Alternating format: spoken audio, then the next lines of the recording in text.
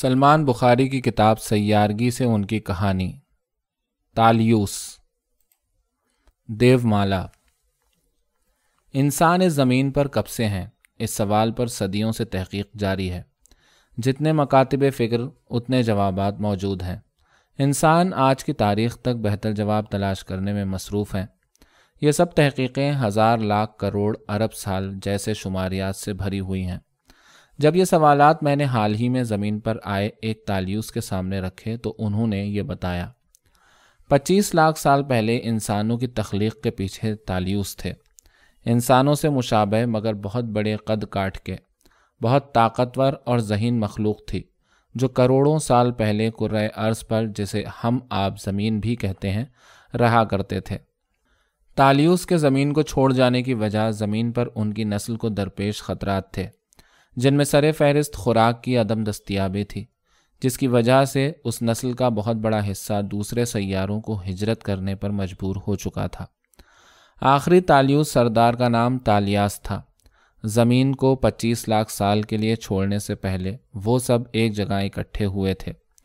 اگر ہم اس سیارے پر رہے تو بھوکے مر جائیں گے، سردار تالیاس نے اپنے قبیلے کے آخری بچ جانے والے ساتھیوں سے کہا۔ تالیاس نے اپنے آخری خطاب میں سب کو بتایا کہ اس قبیلے کے لوگ لاکھوں سال سے زمین پر رہ رہے تھے۔ ان کی خوراک کا واحد ذریعہ آسمان سے گرنے والے شہابیے تھے، جنہیں زمین پر گرتا دیکھ کر وہ خوشی سے جھوم اٹھتے تھے اور ناچ کر جشن مناتے تھے۔ گرم گرم ستاروں کے ٹکڑے وہ خود کھاتے اور اپنے بچوں کو کھلایا کرتے اور پہاڑوں سے ابلتے گرم لاوے سے وہ اپنی پیاس بجھاتے تھے۔ مگر کچھ عرصے سے زمین پر فضا تیزی سے بدل رہی تھی۔ میٹھا پانی جو انہیں سخت ناپسند تھا، اس کے ذخائر بڑھ رہے تھے۔ فضا میں آکسیجن تالیوس کی صحت کے لیے انتہائی مضر صحت گیس تھی۔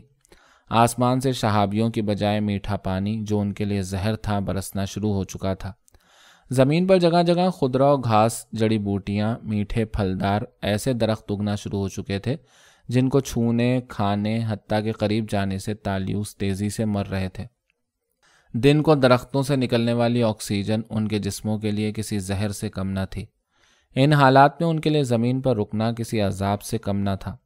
تالیوس آکسیجن سے بچنے کے لیے اپنی ناک اور منہ ڈھکنے پر مجبور ہو چکے تھے۔ ہر وقت کاربن کے سلنڈر پہنے تالیوس کی زندگی مفلوج ہوتی جا رہی تھی۔ قبیلے کے سب لوگوں نے تالیاس کی تائید کی کہ انہیں جلد یہاں سے کسی دوسرے بہتر ماحول والے سیارے کی طرف بھاگ جانا چاہیے۔ جہاں آسمان سے شہابیے اب بھی گرتے ہوں اور فضا میں آکسیجن جیسی زہریلی گیس نہ ہو اور میٹھا بد ذائقہ پانی نہ برستا ہو اور لاوے کا شربت موجود ہو۔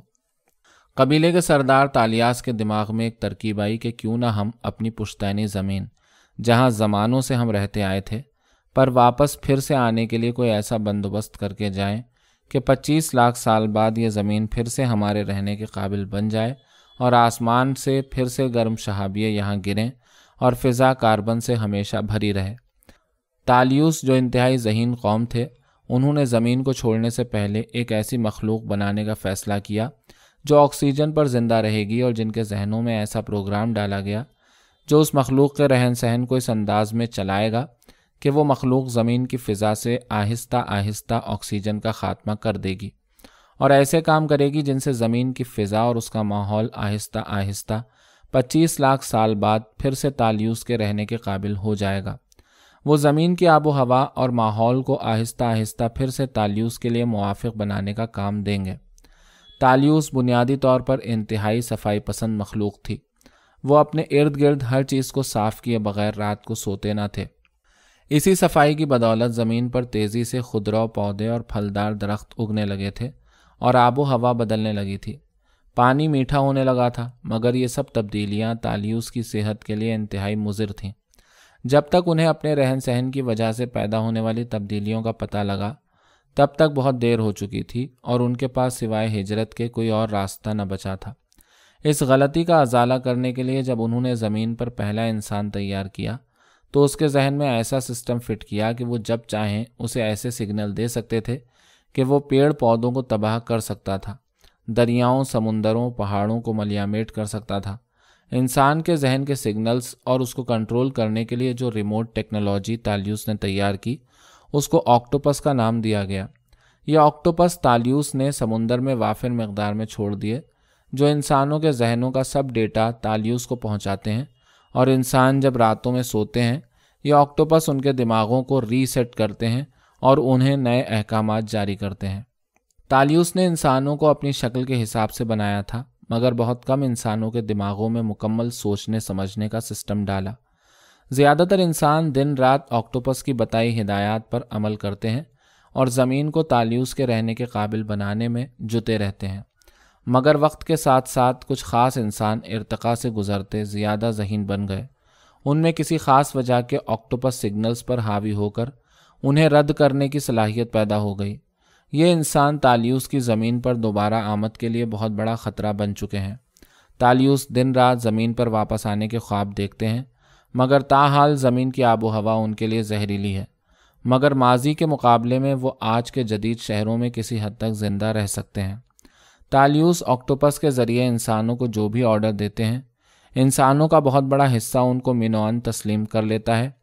اور اس پر روز کی بنیاد پر عمل کرتا ہے۔ زمین پر کاربن کا اخراج کروانا ہو یا پلاسٹک کے فضلے کی سمندر میں منتقلی۔ انسان آکٹوپس سے جو بھی سگنلز لیتے ہیں، ٹھیک ٹھیک ویسے ہی کرتے ہیں۔ مگر اب کچھ گنتی کے انسان تالیوس کے عزائم کو خاک میں ملانے کے لیے جد و جہد کر رہے ہیں اور تالیوس کو اپنے تئیں مشکل وقت دے رہے ہیں۔ کچھ ماہ پہلے ہی تالیوس نے اپنا ایک وفد زمین کی صورتحال کا جائزہ لینے کے لیے کچھ شہروں میں بھیجا۔ جو ہنگامی بنیادوں پر ان کی واپسی کی راہ ہموار کرنے کے لیے نئے اقدامات کرے گا۔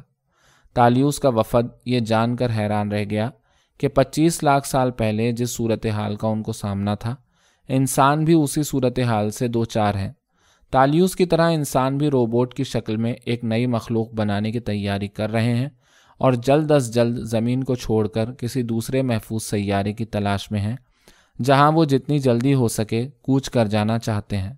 تالیوس کے وفد کو اطمینان ہوا کہ معاملات ٹھیک سمت میں بڑھ رہے ہیں، مگر ان کے لیے گنتی کے کچھ انسان خطرہ بنے ہوئے ہیں جو اب بھی زمین کو ہرا بھرا اور آکسیجن سے پر دیکھنے پر بزد ہیں۔ موجودہ حالات میں تالیوس اور انسانوں میں سے کون زمین پر چند ہزار سال اور قبضہ جماتا ہے، یہ کہنا قبل از وقت ہے۔